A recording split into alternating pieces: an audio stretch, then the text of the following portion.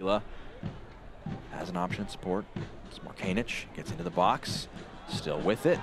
People low and across. Is it cleared away? It is. Vital intervention, not fully dealt with. Ycaza from distance low. It's going to bounce wide. The pocket, the space that you want Markanich to pick up. He's just so good at 1v1. He's so clever with the ball at his feet. Ropes it into a traffic area, but give credit to Emrah Klimenta. Last ditch defending effort. Position to perfection. Augie Williams is